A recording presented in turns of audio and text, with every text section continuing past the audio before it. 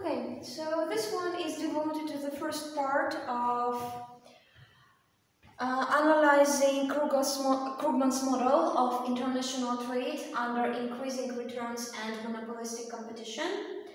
And yeah, okay, so let's start. So we assume that overall utility, you know, utility of all the agents in the economy can be described as sum of individual utilities of individual agents. So this will be sum of U of Ci. So in this case, we assume that all the agents have symmetrical preferences, which basically means that everyone had the same shape of utility curve. So Cy stands for consumption of good Y. And here we have the following assumptions. So the first derivative of this value is assumed to be uh, sorry positive, of course, positive as always. And the second derivative is negative. So those two assumptions combined stand for the famous love of variety assumption.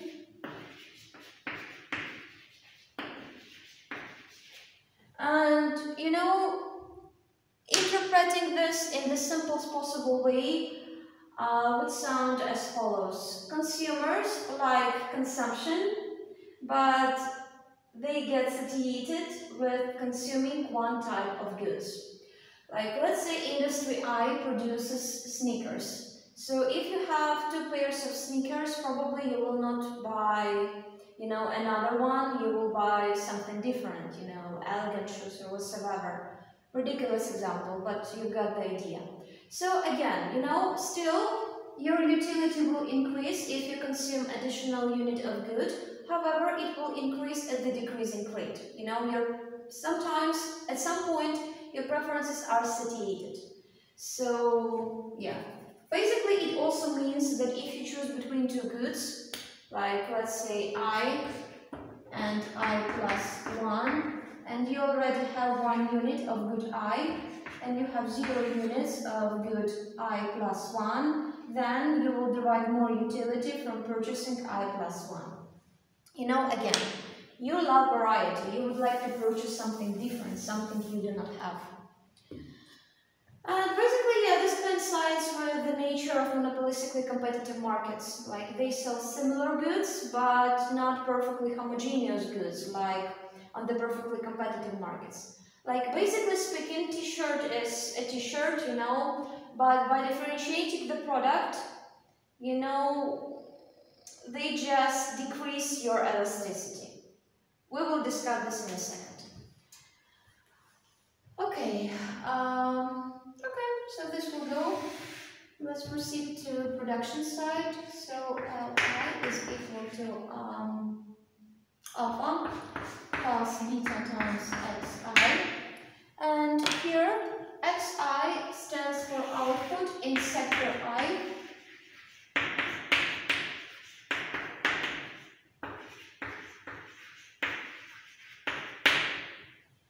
And Li stands for the real cost of production, like units of labor,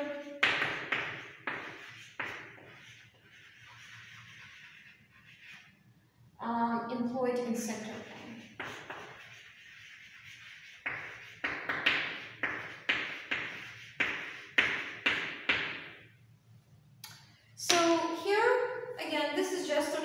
production. Here alpha will stand for the fixed cost. And we can easily prove that this cost function exhibits uh, constant marginal cost and decreasing average total cost. So marginal cost will be equal to derivative of Li with respect to xi, it will be equal to beta. Um, actually, yeah, I forgot to mention alpha and beta are constant and they are bigger than zero. So marginal cost will be constant and average total cost will be calculated as cost function, total cost function, alpha plus beta times xi divided by x.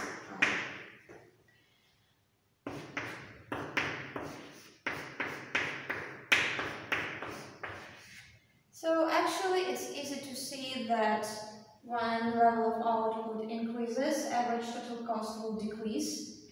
So actually yeah, right. So let's see.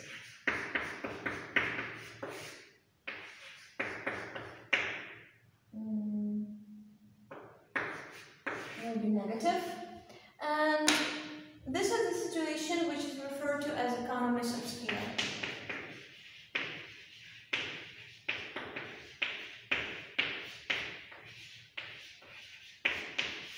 So basically economies of scale is a situation when average total cost decreases when level of output increases. Uh, this is the simplest possible example of economies of scale because here we assume that the source of economies of scale, you know, is fixed cost. Because I think this logic is clear, yes? If you have constant marginal cost, each time when you calculate average total cost, it consists of marginal cost plus fixed cost divided by level of output. So portion of fixed cost which is assigned to this particular unit of output on average. So yeah, it's easy to see where that marginal cost component will not change, but fixed cost component, I mean this one, will decrease. But actually economies of scale can also arise from increasing returns to scale. You know, when production function is characterized by increasing returns to scale, it can arise from, you know, knowledge spillovers, whatever. Okay, at this point it will go. So marginal cost is constant, average total cost function is a decreasing function. So average total cost will decrease when level of output increases.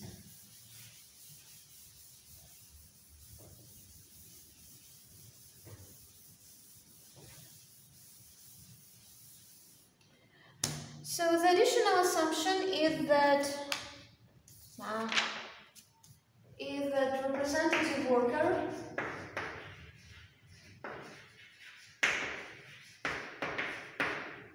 representative worker is also a representative consumer.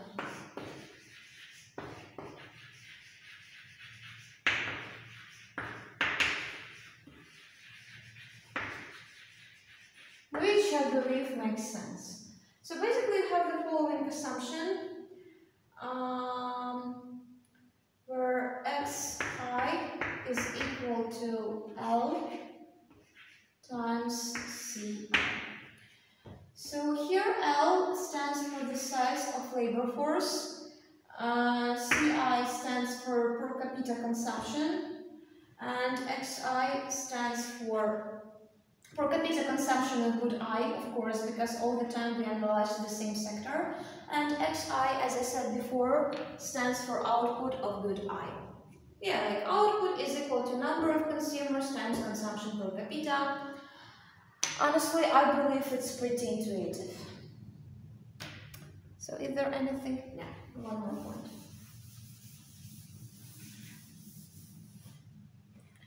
So final assumption is full employment.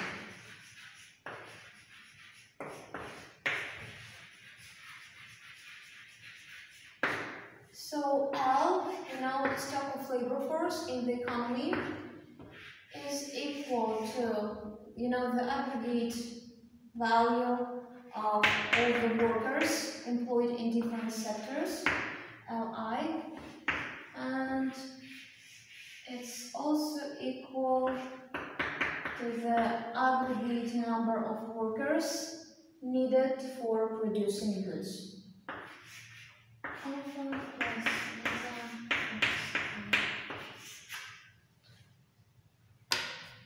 Yeah, and we assume that the stock of labor is fixed at this moment. Okay, I believe it's pretty intuitive. Okay, it's it's not visible. So this is L I labor employed in sector I. And you know, it should be like this value of aggregate labor, you know, employed in all the sectors should be equal to the value corresponding to the size of labor force needed for producing all the goods in all the sectors. So something like this. So now finally we are done with assumptions and we can proceed to modeling. So first we start with consumer side and we assume that consumers um, ultimate aim is utility maximization. So what we have to do is to maximize this function u of ci with respect to the price of this good pi. So if you want to do this using the method of the Lagrangian multiplier, ah not at this point, then you will get L equal to U Ci uh, plus M minus pi times Ci. Okay, M stand for income. We are not really interested in this right now. So using first order condition, you will get uh, first derivative of utility function uh, minus, okay, yeah, sorry. I'm really sorry for this. I almost forget to put lambda in front of brackets first. Minus lambda times p And you have to equalize it to zero because again this is first order maximization condition. So it tells you that the rate of change of this function with respect to ci should be, should be equal to zero. So from this we can derive u prime ci is equal to lambda times pi looks fine. Um, okay, also please keep in mind that it's not that critical at this point, but it will be important later, that lambda is derivative of R with respect to income. So basically it will stand for the marginal utility of income.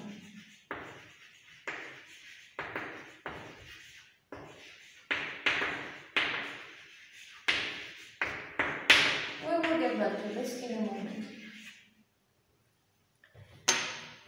Okay, so you can rearrange it in this way. Finally, you can express demand for good I, inverse demand actually, as derivative of u with respect to ci times lambda to the power minus 1. So over here we have demand for individual firm. Demand individual firm faces.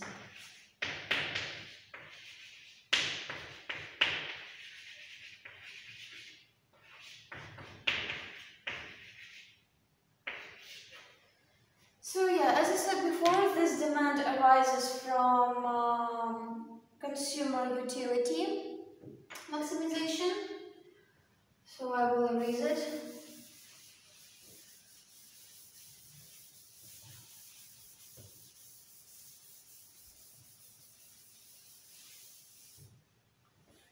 So now what we have to do is to detect elasticity of demand.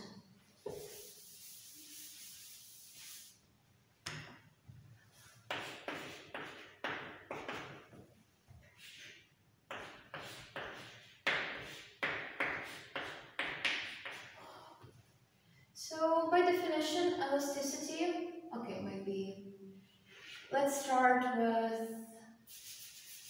elasticity of price with respect to quantity, with respect to consumption actually, quantity consumed. So PC.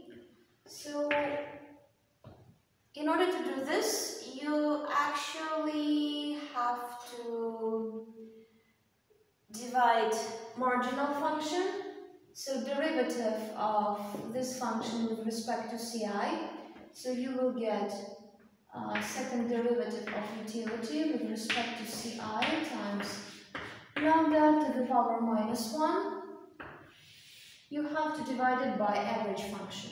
So average function will be first derivative of Ci times lambda minus 1 multiplied by Ci. So actually you have to divide by uh, this divided by Ci, but you know it will be just identical if you take it here and multiply. Just simplified my life a bit. Okay, so here you can get rid of those. So as a result, you get u, second derivative of utility with respect to Ci times Ci divided by first derivative of utility function with respect to Ci. So this is elasticity of price with respect to consumption, but what we are interested in is actually elasticity of consumption with respect to price. And in order to find this, you just have to divide 1 by elasticity of price with respect to consumption and it will give you derivative of u with respect to ci divided by the second derivative of utility function with respect to ci times c. Okay, because as I mentioned before, what we analyze here is inverted demand function, inverted inverse. Okay, inverted I think. So basically it tells you what is the relationship, uh, what is the dependency of price on quantity, of quantity consumed, or C. And here we want to define the dependency of consumption on price. So here it will go. So finally, as you can see, it will be negative.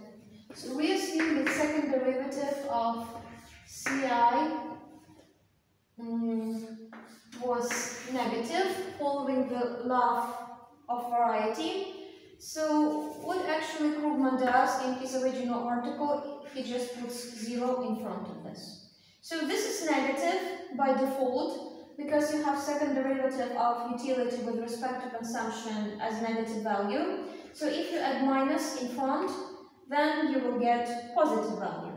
And demand actually has negative uh, so elasticity of demand, price elasticity of demand is negative by default. So actually it makes sense. Then you just get a positive value. It's easier to analyze in absolute terms.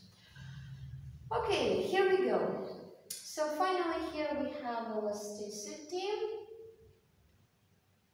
So actually the profit maximization condition for firm is that price has to be equal to price markup. I will get back to this in a second. Times marginal cost. So beta times W, where W stands for reach per worker, will stand for marginal cost. And elasticity divided by elasticity minus 1 will stand for price markup.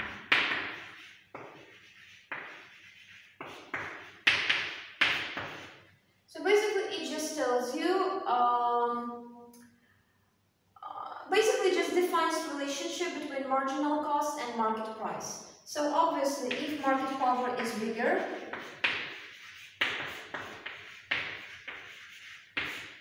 then price markup is bigger accordingly.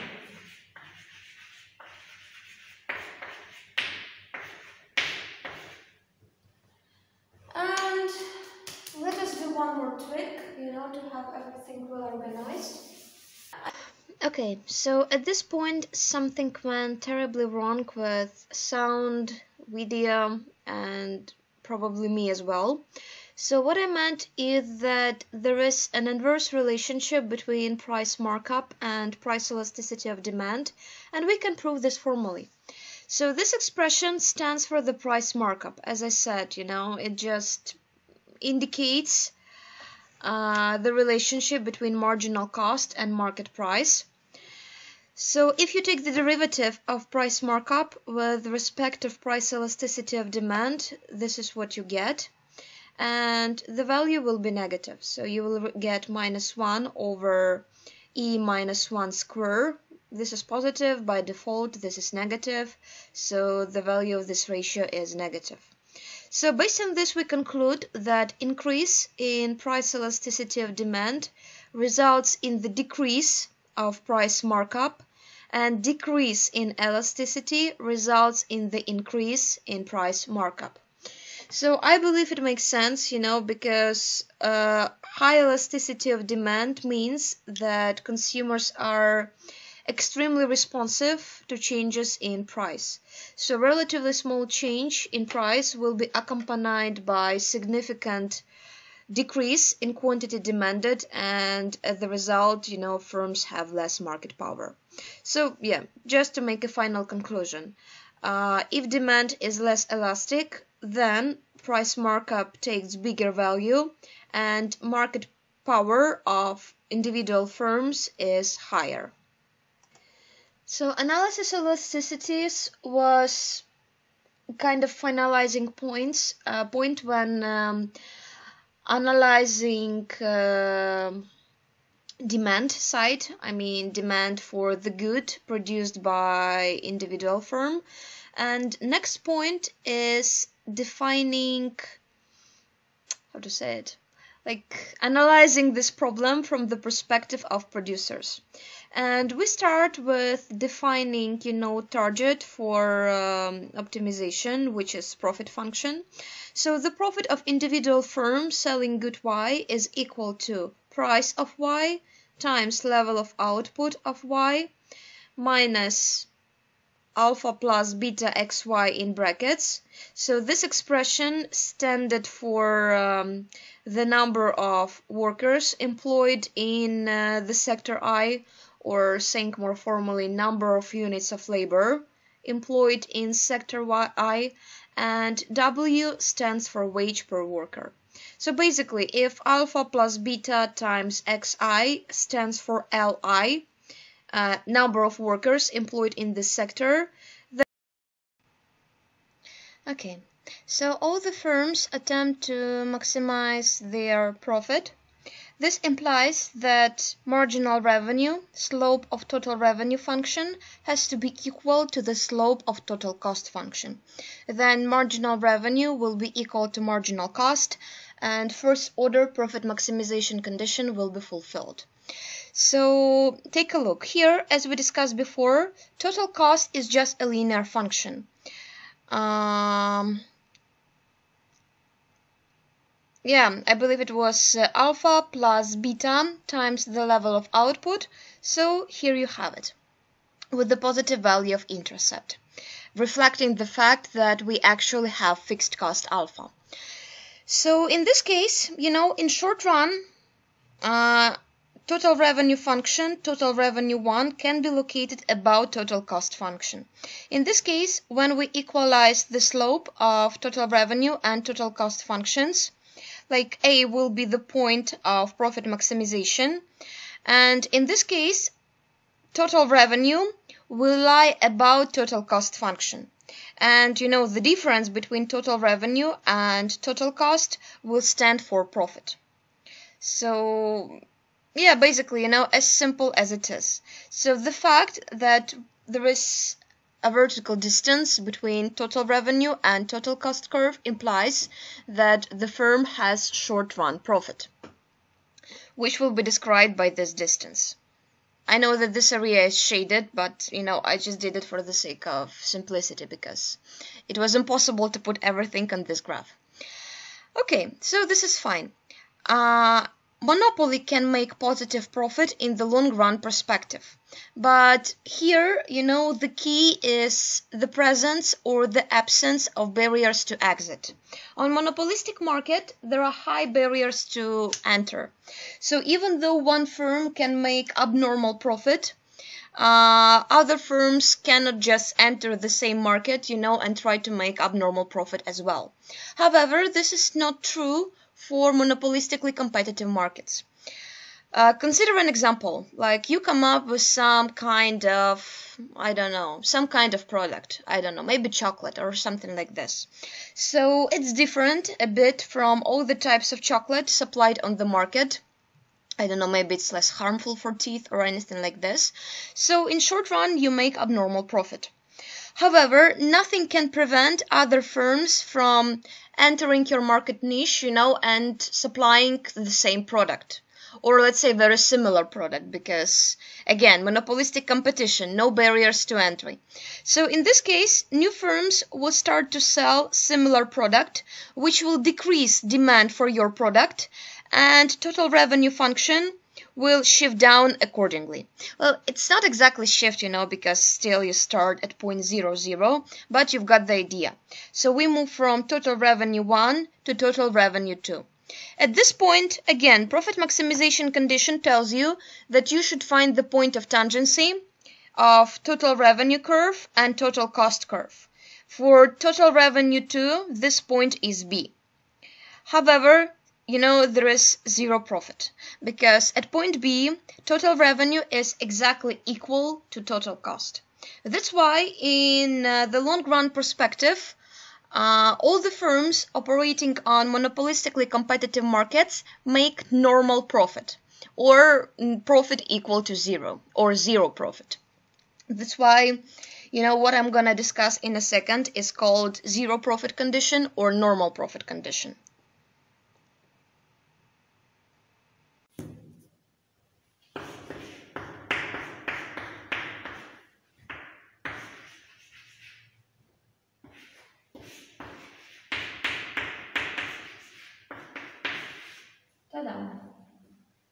So this implies that Pi xi is equal to alpha w plus uh, beta xi times w. You divide both sides by w and multiply and by x simultaneously.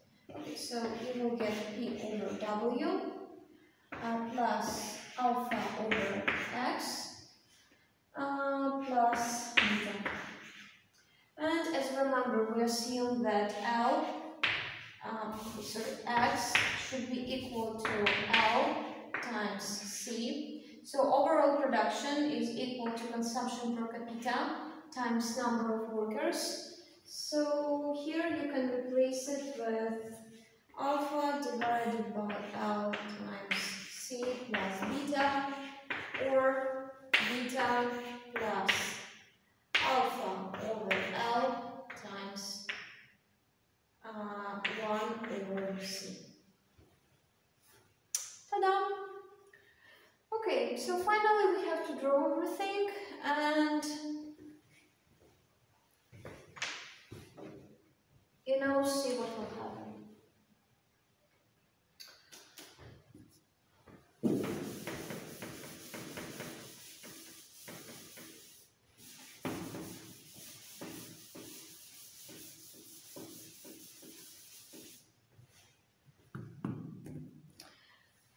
So previously we've got, uh, okay, actually as far as I remember this one is not very visible. So we've got price equal to E divided by E minus 1 times BW or P over W would be equal to beta E divided by E minus 1. And from what we've analyzed, you know, just we've got P over W equal to uh, beta plus, okay, let me check. I do not want to mess it up at this point. Uh, beta plus alpha over L times 1 over C. So now let's draw this.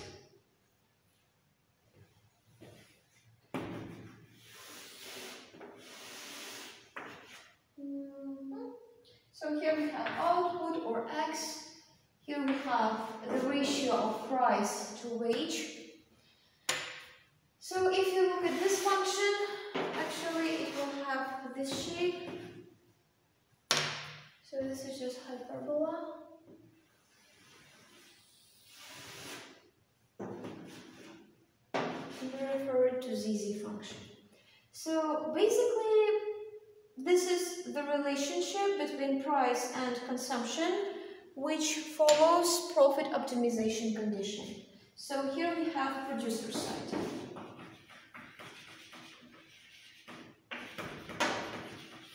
Here is the relationship between, you know, price and consumption, uh, which follows from consumer utility maximization condition. So again, as you remember, if consumption increases, then elasticity increases, price markup increases, and price increases respectively. So here we're going to have upward slope function, uh, which again follows consumer utility optimization condition. And in this way, we defined equilibrium level of output, and we define uh, equilibrium price per wage ratio. Like then you have to multiply this by wage and you will receive production cost.